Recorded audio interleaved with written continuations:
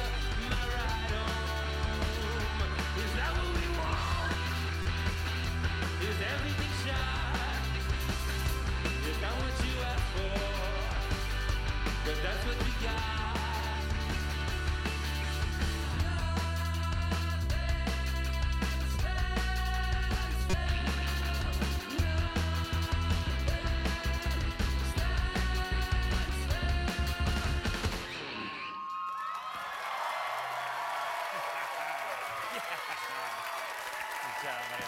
Great job. Great job, buddy. Julian Casablancas. Check out his album, Phrases for the Young. See him live Thursday in Montreal and Friday in Toronto. My thanks to Jeff Goldblum, Jennifer Morrison, Julian Casablancas, Brian Williams, and the greatest band in late night, The Roots, right there. Stay tuned for Carson Daly. Thanks for watching. Have a good night. Hope to see you tomorrow.